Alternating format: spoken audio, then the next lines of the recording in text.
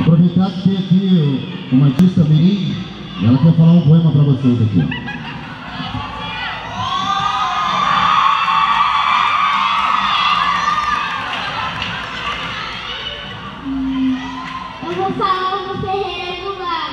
A gente cata gatinho, mas cu- coisa custa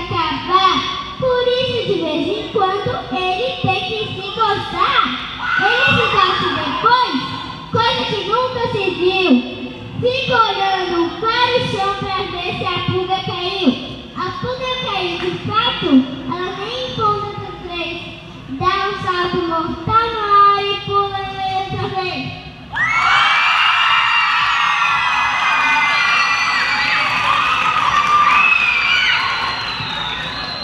Agora me falando da lua. A lua foi ao cinema.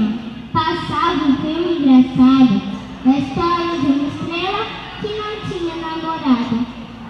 Não tinha porque era apenas uma estrela bem pequena.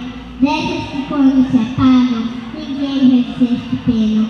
A lua ficou tão triste com essa história de amor que até hoje ela não existe. Amanheça, por favor.